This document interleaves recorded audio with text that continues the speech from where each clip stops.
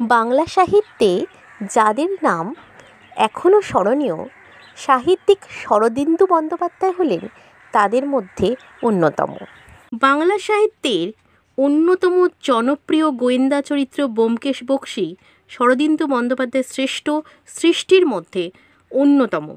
ব্যোমকেশ চরিত্র নিয়ে তেত্রিশটি কাহিনী রচনা করেছেন তিনি।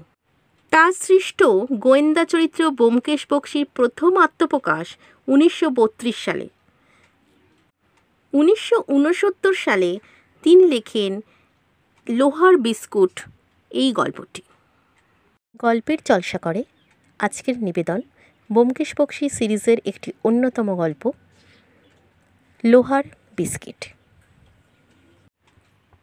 কমলবাবু বললেন, আমি পাড়াতেই থাকি। হিন্দুস্তান পার্কের কিনারায়। আপনাকে অনেকবার দেখেছি, আলাপ করবার ইচ্ছে হয়েছে, কিন্তু সাহস হয়নি। আজ একটা সূত্র পেয়েছি, তাই ভাবলাম এই ছুতোয় আলাপটা করে নিই। আমার জীবনে একটি ছোট্ট সমস্যা এসেছে। সমস্যা? ব্যোমকেশ সিগারেটের কৌটো এগিয়ে দিয়ে বলল, বলুন বলুন অনেক দিন ও বস্তুর মুখদর্শন করিনি। গ্রীষ্মের একটি রবিবার সকালে ব্যোমকেশের কেয়াতলার বাড়িতে বসে কথা হচ্ছিল। কমলবাবুর চেহারাটি নাড়ুগোপালের মতো, কিন্তু মুখের ভাব চটপটে বুদ্ধি সমৃদ্ধ তিনি হাসি মুখে একটি সিগারেট নিয়ে ধরালেন, তারপর গল্প আরম্ভ করলেন। বললেন, আমার নাম কমল কৃষ্ণ দাস।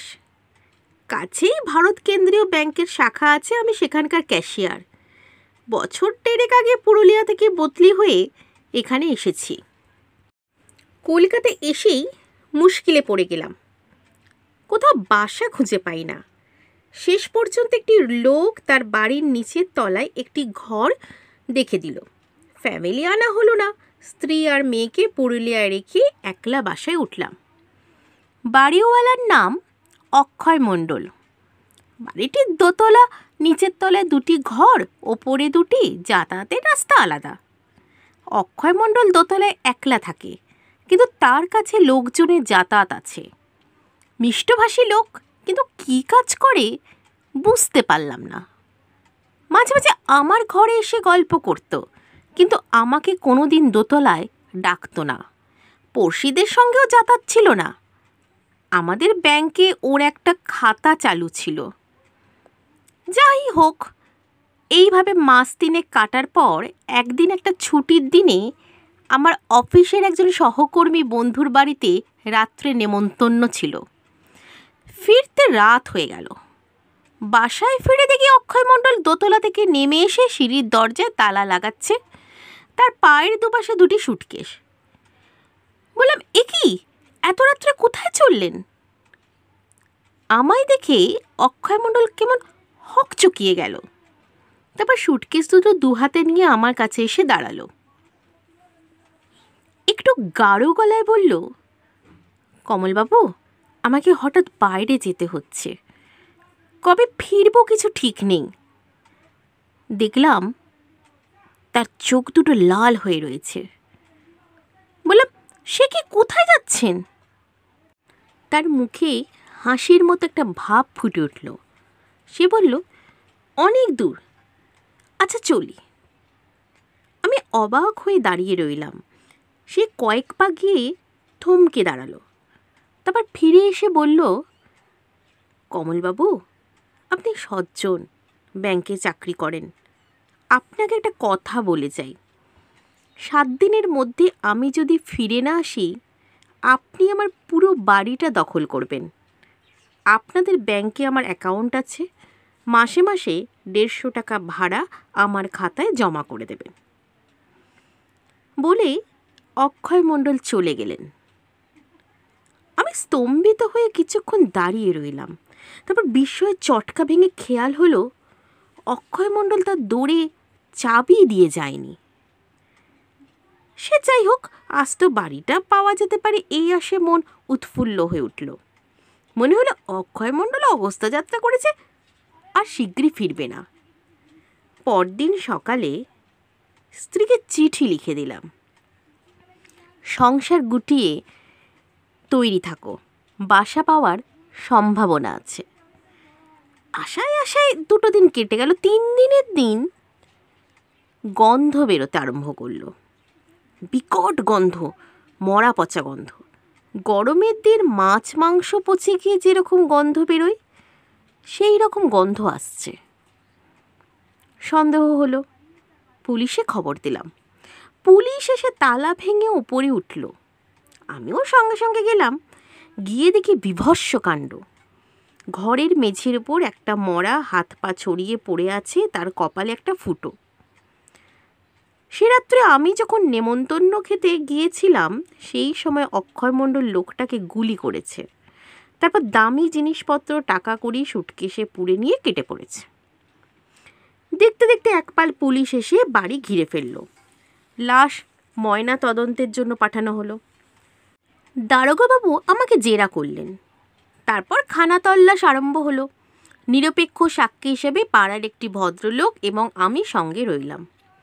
খানা তল্লাশে কিন্তু বিশেষ কিছু পাওয়া গেল না।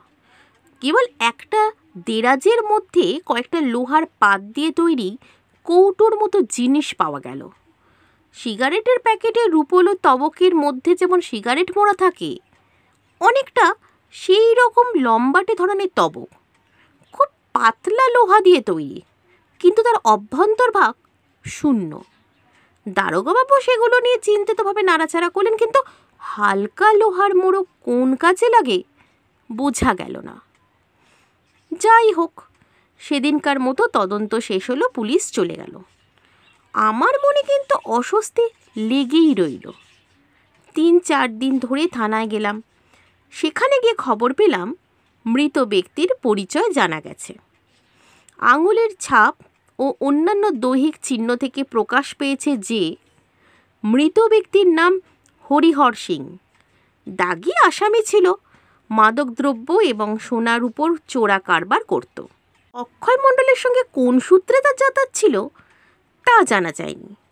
অক্ষয় মণ্ডলের নামে হুলিয়া জারি হয়েছে, কিন্তু সে এখনও ধরা পড়েনি। কপ্পুরের মতো উবে গেছে। থানা থেকে ফেরার সময় ভয় ভয়ে প্রশ্ন করলাম, পুরো বাড়িটা তাহলে আমি দখল করতে পারি? দারোগাবাবু বলেন স্বচ্ছন্দে। আসামি যখন ফেরার হবার আগে আপনাকে তার বাড়ির হেফাজতে রেখে গেছে, তখন আপনি থাকবেন বই কি? তবে একটা কথা, যদি আসামি সারা শব্দ পান, তৎক্ষণাৎ থানায় খবর দেবেন। তারপর প্রায় বছর খানেক ভারী আরামে কেটেছে। স্ত্রী আর মেয়েকে নিয়ে এলাম, সারা বাড়িটা দখল করে দিব্যি হাত পা ছড়িয়ে বাস করছি। বাড়ির ভাড়া মাসে মাসে অক্ষয়মণ্ডলের খাতায় জমা করে দিই। তার টেবিল, চেয়ার ইত্যাদি ব্যবহার করি বটে। কিন্তু আলমারির বাক্স কাবাডে হাত দিই না। পুলিশ খানা তল্লাশ করার পর যেমনটি ছিল, তেমনি আছে। হঠাৎ মাস দুয়েক আগে এক ফ্যাসাদ উপস্থিত হলো। সকালবেলা নিচের ঘরে বসে কাগজ পড়ছি। একজন অপরিচিত লোক এলো, তার সঙ্গে একটি স্ত্রীলোক। ভদ্র শ্রেণির মধ্যবয়স্ক পুরুষ স্ত্রীলোকটি সদপা। পুরুষ স্ত্রীলোকটির দিকে আঙুল দেখিয়ে বলল, এ হচ্ছে অক্ষয় মণ্ডলের স্ত্রী। আমি ওর বড় ভাই। এতদিন ওকে পুষেছি কিন্তু আর পোষবার ক্ষমতা নেই। এবার ওর স্বামীর বাড়িতে থাকতে হবে। ওকে আপনাকে বাড়ি ছেড়ে দিতে হবে। মাথায় তো বর্জাঘাত ফ্যাল ফ্যাল করে চেয়ে রইলাম। তারপর বুদ্ধি গজালো। বললাম অক্ষয় বাবা স্ত্রী আছে, তা কোনোদিন শুনিনি। যদি আপনার কথা সত্যি হয়, আপনি আদালতে গিয়ে নিজের দাবি প্রমাণ করুন, তারপর দেখা যাবে। কিছুক্ষণ বকাবকি, কথা কাটাকাটির পর তারা চলে গেল। আমার সন্দেহ হলো, এরা দাগাবাজ, জোচ্চোর, ছলছুতো করে বাড়িটা দখল করে বসতে চায়। কাল বাসা বাড়ির যেরকম ভাড়া দাঁড়িয়েছে, তাতে ফোকটে পেলে কে আর ছাড়ে? থানায় গিয়ে খবরটা জানিয়ে এলাম। দারোগাবাবু বললেন, অক্ষয় মণ্ডলের স্ত্রী আছে কি না, আমাদের জানা নেই। যা হোক, আবার যদি আসে ছলছুতো করে থানায় নিয়ে আসবেন, আমরাও বাড়ির ওপর নজর রাখব। আমার পিস্তল আছে, তাছাড়া একটা কুকুর পুষেছি। হিংস্র পাহাড়ি কুকুরের নাম ভুটো। আমার হাতে ছাড়া কারোর হাতে খায় না। আমি ব্যাংকে যাবার সময় তার শেকল খুলে দিই, রাত্রেতে তাকে ছেড়ে দিই। সে বাড়ি পাহারা দেয়। ভুটো ছাড়া থাকতে বাড়িতে চোর ছাচার ঢুকবার ভয় নেই। ভুটো তাকে চিবিয়ে খেয়ে ফেলবে। তবু এই ঘটনার পর মনে একটা অস্বস্তি লেগে রইল। অক্ষয়মণ্ডল লোক ভালো নয়, হয়তো নিজে আড়ালে থেকে কুটিল খেলা খেলছে। দিন দশেক পরে একখানা বেনামি চিঠি পেলাম। লেখা ছিল, পাড়া ছেড়ে চলে যাও, নইলে বিপদে পড়বে। পাড়া মানেই বাড়ি। থানায় গিয়ে চিঠি দেখালাম। দারোগাবাবু বললেন, চেপে বসে থাকুন, নড়বেন না। আপনার বাসার ওপর পাহারা বাড়িয়ে দিচ্ছি। তারপর থেকেই দেড় মাস হলো, আর কেউ আসেনি। পুরো চিঠিও পাঠায়নি। এখন বেশ নিরাপদ বোধ করছি। কিন্তু একটি সমস্যার উদয় হয়েছে। এই সমস্যা সমাধানের জন্যই আপনার কাছে আসা।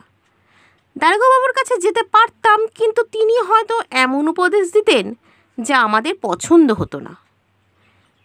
ব্যাপারটা এই, ব্যাংক থেকে আমার এক মাসের ছুটি পাওনা হয়েছে। আমার স্ত্রীর অনেক দিন থেকেই তীর্থে যাবার ইচ্ছে। হরিদ্বার, ঋষিকেশ এইসব। ব্যাংকের একটি সহকর্মীও আমার সঙ্গে ছুটি নিয়ে কুণ্ডু স্পেশালে বেড়াতে বেরোচ্ছেন। আমাকেও তিনি সঙ্গে যাবার জন্য চাপাচাপি করছেন। দল বেঁধে গেলে অনেক সুবিধা হয়। আমার স্ত্রী খুব উৎসাহিত হয়ে উঠেছেন। আমারও উৎসাহ কম নয়, কিন্তু যেতে হলে বাড়িতে তালা বন্ধ করে যেতে হবে। ভুটোকেও মাস খানেকের জন্য একটা কেনেলে ভর্তি করে দিতে হবে। বাড়ি অরক্ষিত থাকবে। মনে করুন এই ফাঁকে অক্ষয় মণ্ডলের বউ মানে ওই স্ত্রী লোকটা, যদি তালা ভেঙে বাড়িতে ঢুকে বাড়ি দখল করে বসে, তখন আমি কি করব? অক্ষয় মণ্ডলের মৌখিক অনুমতি ছাড়া আমার তো কোনো হক নেই।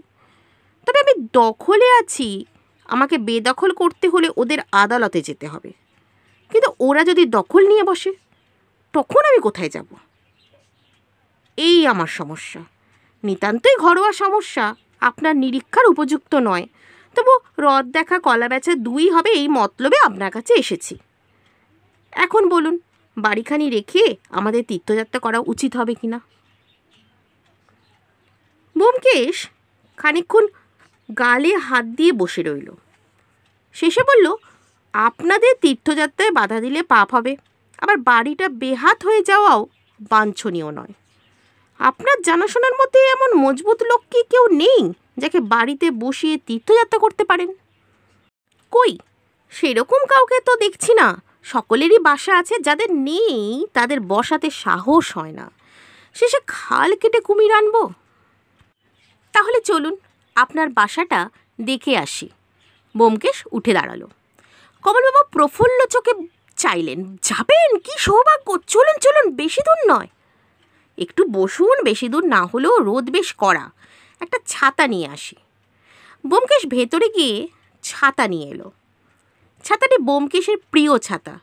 অতিশয় জীর্ণ, লোহার বাঁট এবং কামানিতে মরচে ধরেছে। কাপড় বিবর্ণ এবং বহু ছিন্নযুক্ত। এই ছাতা মাথায় দিয়ে রাস্তায় বেরোলে নিজে অদৃশ্য থেকে সন্দেহভাজন ব্যক্তির অনুসরণ করা যায়। ফুটো দিয়ে বাইরের লোককে দেখা যায়, কিন্তু বাইরের লোক ছাতাধারীর মুখ দেখতে পায় না।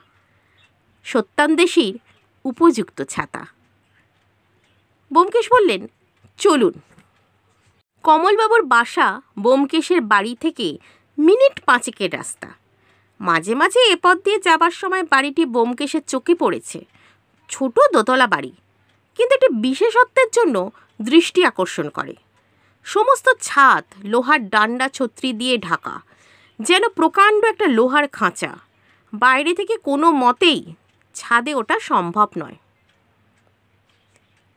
আসুন, বললেন কমলবাবু।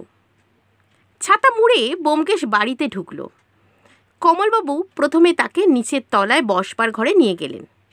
সেখানে একটি শতরঞ্জি ঢাকা তক্তপোষ ও দুটি ক্যাম্বিসের চেয়ার ছাড়া বিশেষ কিছু নেই। বোমকেশ ঘরের চারিদিকে চোখ ফেরালো।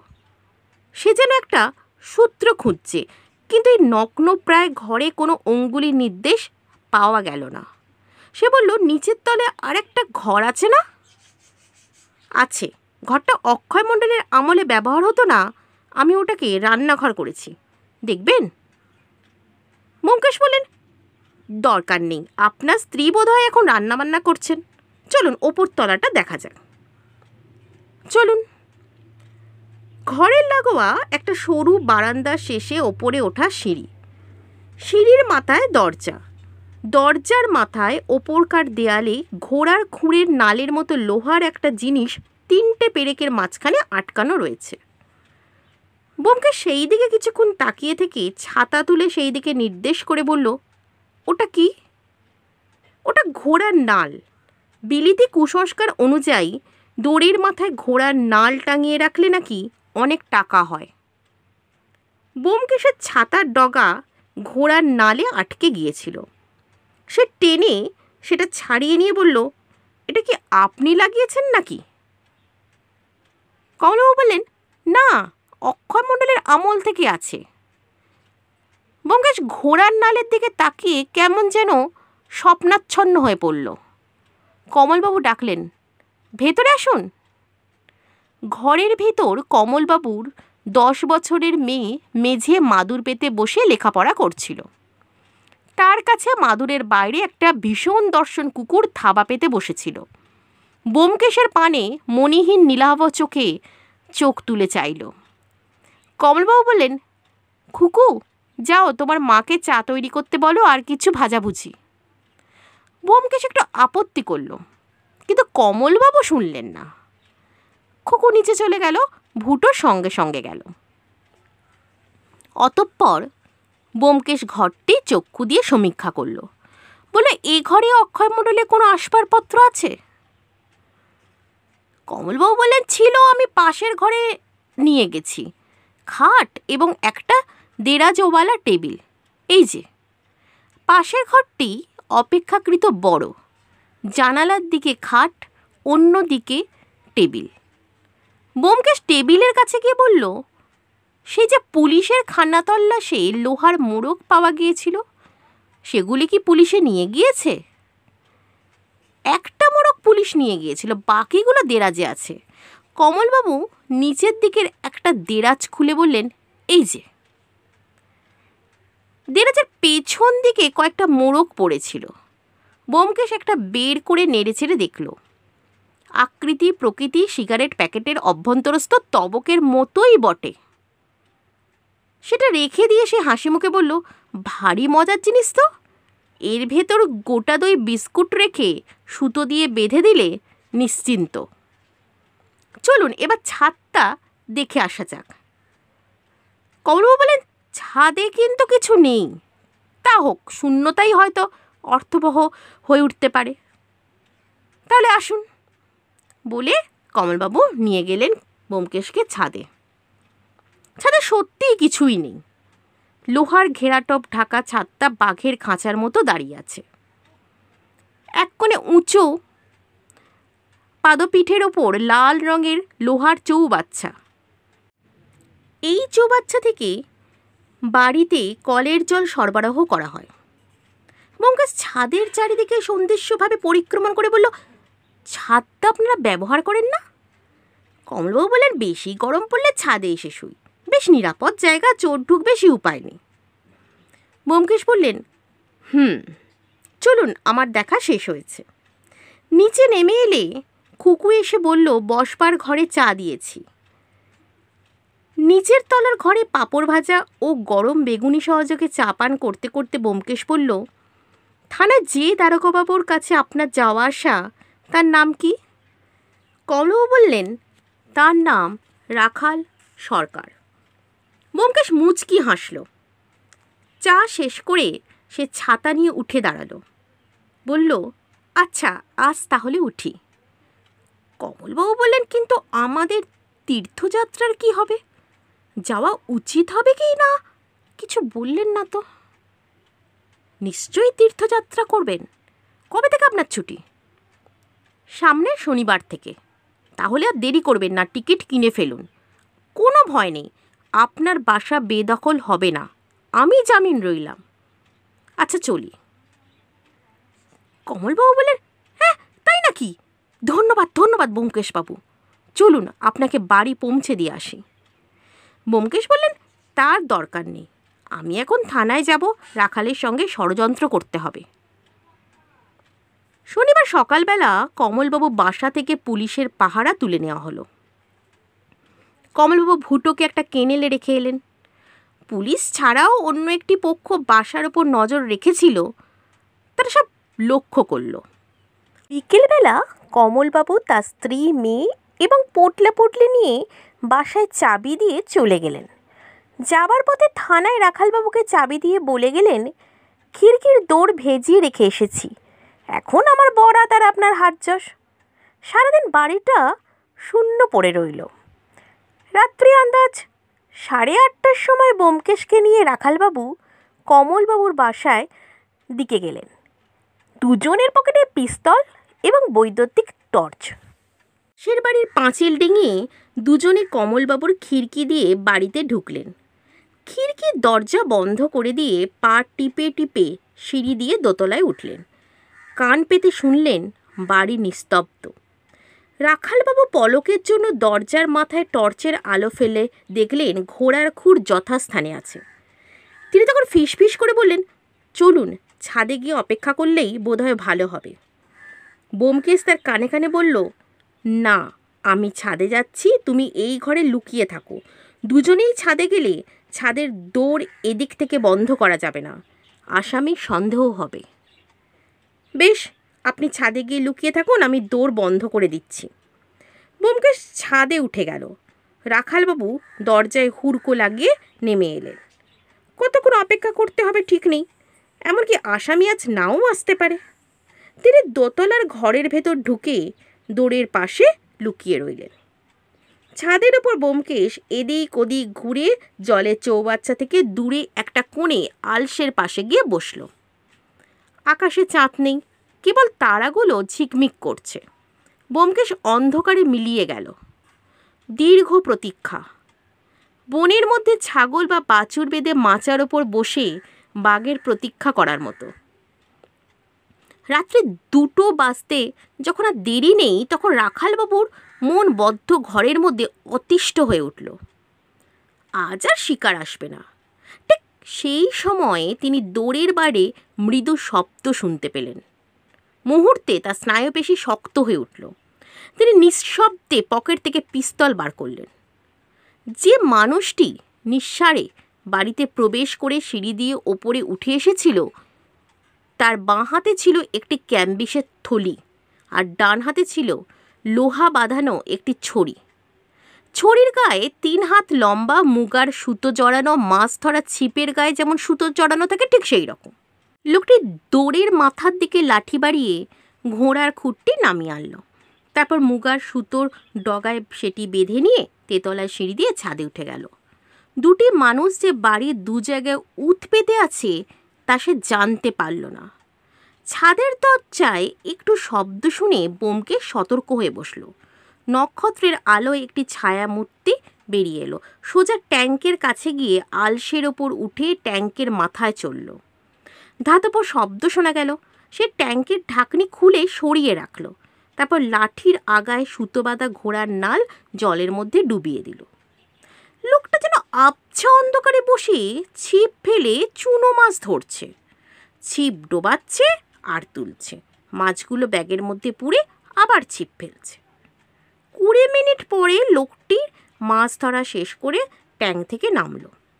এক হাতে ব্যাগ, অন্য হাতে ছিপ নিয়ে যেই পা বাড়িয়েছে অমনি তার মুখের ওপর দপ করে টর্চ জ্বলে উঠল। বোমকেশের ব্যঙ্গ স্বর শোনা গেল।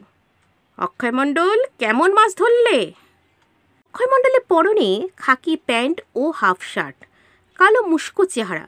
সে বিস্ফারিত চোখে চেয়ে আস্তে আস্তে থলিটি নামিয়ে রেখে ক্ষিপ্রবেগে পকেটে হাত দিল। সঙ্গে সঙ্গে বোমকেশের টর্চ গদার মতো তার চোয়ালে লাগল অক্ষয় মণ্ডল ছাদের উপর চিতিয়ে পড়ল। রাখালবাবু নিচ থেকে উঠে এসেছিলেন। তিনি অক্ষয় মণ্ডলের বুকের ওপর বসে বললেন, বোমকেশদা, এর পকেটে পিস্তল আছে, বের করে নিন। বোমকেশ অক্ষয় মণ্ডলের পকেট থেকে পিস্তল বার করে নিজের পকেটে রাখল। রাখালবাবু আসামির হাতে হাত করা পরিয়ে বললেন, অক্ষয় মণ্ডল হরিহর সিংকে খুন করার অপরাধে তোমাকে গ্রেপ্তার করলাম। ব্যোমকেশ অক্ষয় মণ্ডলের থলি থেকে কয়েকটা ভিজে লোহার প্যাকেট বার করে তার উপর টর্চের আলো ফেলল। বাহ! এই যে যা ভেবেছিলাম তাই, লোহার মোড়কের মধ্যে চকচকে বিদেশি সোনার বিস্কুট। পরদিন সকালবেলা সত্যবতী ব্যোমকেশকে বললেন, ভালো চাও তো বলো কোথায় রাত কাটালে? ব্যোমকেশ কাতর সরে বলল, দোহাই ধর্মবতার রাখাল সাক্ষী, আমি কোনো কুকার্য করিনি। সুরির সাক্ষী মাতাল, গল্পটা বলবে? বলব বলব, কিন্তু তার আগে আর এক পেয়ালা চা দিতে হবে। এক পেয়ালা চা খেয়ে রাত জাগার গ্লানি কাটেনি। সত্যবতী আর এক পেয়ালা করা চা এনে বোমকেশের সামনের চেয়ারে বসল। এবার বলো, টর্চটা ভাঙলে কি করে? মারামারি করেছিলে? বোমকেশ বলল, মারামারি নয়, শুধু মারা। চায়ে একটু চুমুক দিয়ে সে বলতে আরম্ভ করল। অক্ষয় মণ্ডল সোনার চোরা কারবার করি অনেক টাকা করেছিল। নিজের প্রয়োজন অনুযায়ী ভদ্রপাড়ায় একটি বাড়ি করেছিল। বাড়ির ছাদ লোহার ডান্ডা ছত্রি দিয়ে এমনভাবে মুড়ে রেখেছিল যে ওদিক দিয়ে বাড়িতে চোর ঢোকার উপায় ছিল না। ছাদটাকে নিরাপদ করা তার বিশেষ দরকার ছিল।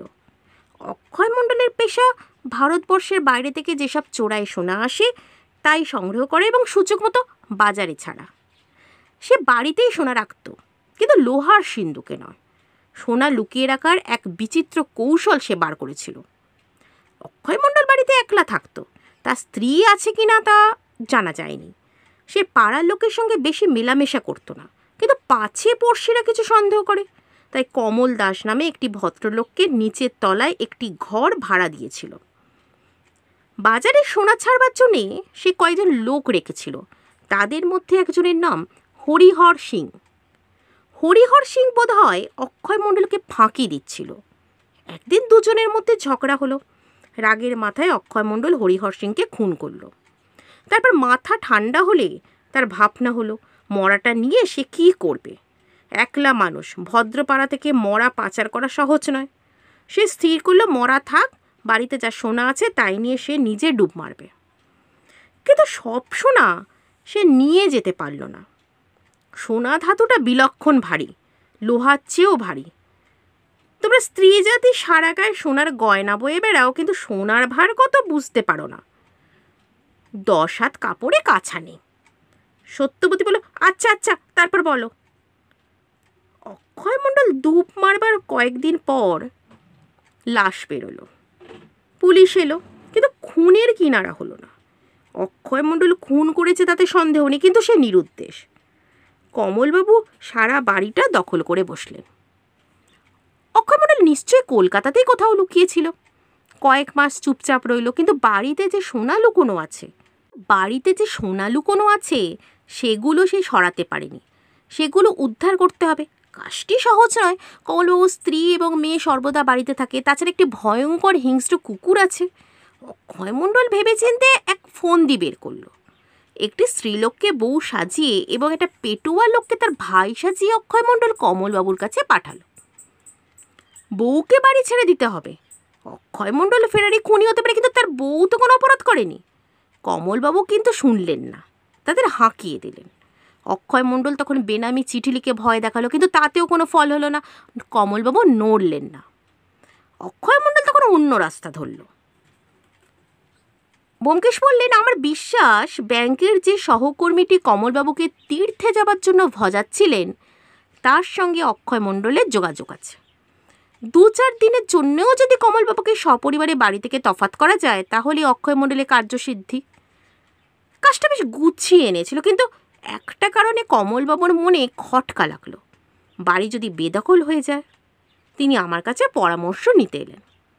তার গল্প শুনে আমার সন্দেহ হলো বাড়িটার ওপর। আমি বাড়ি দেখতে গেলাম। দেখাই যাক না। ওকুতস্থলে গেলে অনেক ইশারাঙ্গিত পাওয়া যায়। গেলাম বাড়িতে। কড়া রোদ ছিল, তাই ছাতা নিয়ে গিয়েছিলাম। দোতলায় উঠে দেখলাম দোরের মাথায় ঘোড়ার নাল তিনটে পেরেকের মাঝখানে আলগাভাবে আটকানো রয়েছে। ঘোড়ার নালটা এক নজর দেখলে ঘোড়ার নাল বলেই মনে হয় বটে, কিন্তু ঠিক যেন ঘোড়ার নাল নয়। আমি ছাতাটা সেই দিকে বাড়িয়ে দিলাম, অমনি ছাতাটা আপনা থেকেই গিয়ে ঘোড়ার নালে জুড়ে গেল। বুঝলাম, ঠিকই সন্দেহ করেছিলাম, ঘোড়ার নাল নয়, একটি বেশ শক্তিমান চুম্বক। ছাতার লোহার বাঁট পেয়ে টেনে নিয়েছে। প্রশ্ন করে জানলাম চুম্বকটা অক্ষয় মণ্ডলের। মাথার মধ্যে চিন্তা ঘুরপাক খেতে রাখল কেন? অক্ষয় মণ্ডল চুম্বক নিয়ে কি করে? দৌড়ের মাথা টাঙিয়েই বা রেখেছে কেন? যাতে মনে হয় ওটা ঘোড়ার নাল। মনে পড়ে গেল পুলিশের খানা তল্লাশে দেরাজের মধ্যে কয়েকটি লোহার মোড়ক পাওয়া গিয়েছিল। রহস্যটা ক্রমশ পরিষ্কার হতে লাগল। তারপর যখন ঘেরাটোপ লাগানো ছাদে গিয়ে জলের ট্যাঙ্ক দেখলাম, তখন আর বুঝতে বাকি রইল না। চুম্বক যতই জোরালোই হোক না কেন, সোনাকে টানবার ক্ষমতা তার নেই। তাই সেই সোনার বিস্কুট লোহার প্যাকেটে মুড়ে ট্যাঙ্কের জলে ফেলে দেয়। তারপর যেমন যেমন দরকার হয় ট্যাঙ্কে চুম্বকের ছিপ ফেলে জল থেকে তুলে আনে। হরিহর সিংকে খুন করে পালাবার সময় সে সমস্ত সোনা নিয়ে যেতে পারেনি। এখন বাকি সোনা উদ্ধার করতে চায়। পালাবার সময় সে ভাবেনি যে ব্যাপারটা এতটা জটিল হয়ে উঠবে। যাই হোক, সোনার সন্ধান পেলাম। সমুদ্রের তলায় শুক্তির মধ্যে যেমন মুক্ত থাকে, ট্যাঙ্কের তলায় তেমনি লোহার পাতে মোড়া সোনা আছে। কিন্তু কেবল সোনা উদ্ধার করলেই তো চলবে না, খুনি আসামিকে ধরতে হবে। আমি কমলবাবুকে বললাম, আপনি সপরিবারে তীর্থযাত্রা করুন। তারপর রাখালের সঙ্গে পরামর্শ করে ফাঁদ পাতার ব্যবস্থা করলাম। কাল সকালে কমলবাবুরা তীর্থযাত্রায় বের হলেন। বাড়ির ওপর অক্ষয়মণ্ডল নজর রেখেছিল, সে জানতে পারল রাস্তা সাফ। কাল সন্ধ্যের পর রাখাল আর আমি বাড়িতে গিয়ে আড্ডা কাটলাম কালই যে অক্ষয় মণ্ডল আসবে, এতটা আশা করিনি তবু পাহারা দিতে হবে, বলা তো যায় না। রাত্রি দুটোর সময় শিকার ফাঁদে পা দিল। তারপর আর কি, টর্চের একটি ঘায়ে ধরাশায়ী। সত্যবতী ক্ষীণকণ্ঠে প্রশ্ন করল, কত সোনা পাওয়া গেল? সিগারেট ধরিয়ে বোমকেশ বলল, সাতান্নটি লোহার মোড়ক প্রত্যেকটি মোড়কের মধ্যে দুটি করে সোনার বিস্কুট, প্রত্যেকটি বিস্কুটের ওজন পঞ্চাশ গ্রাম। কত দাম হয় হিসাব করে দেখো। সত্যবতী কেবল একটি নিঃশ্বাস ফেলল। নমস্কার বন্ধুরা, গল্প পাঠ কেমন লাগল অবশ্যই জানাবেন। ভালো থাকবেন, সুস্থ থাকবেন।